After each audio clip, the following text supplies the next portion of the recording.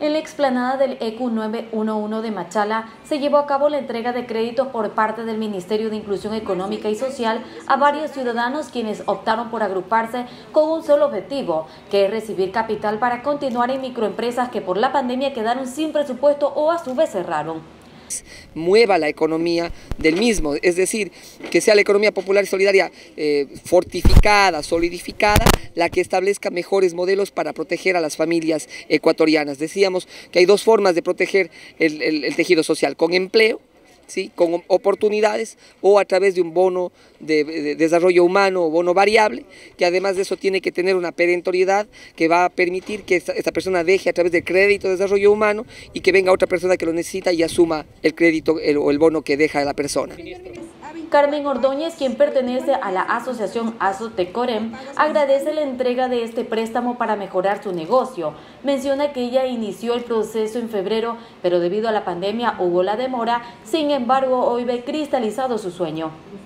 Bueno, este, yo lo veo este préstamo una gran ayuda que nos dan a nosotros los artesanos y me dieron una cantidad de 10 mil dólares. Bueno, este es por el motivo de esta situación eh, emplear materia prima y, también unas deudas que teníamos, eso ya hemos cancelado. Y bueno, gracias a Dios se facilitó todo esto así rápido. Otro de los temas a los que se refirió el ministro es la entrega de terrenos que se efectuaría en el cantón El Guabo, los mismos que servirán para la construcción de un gerontológico y la atención de niños de 0 a 3 años.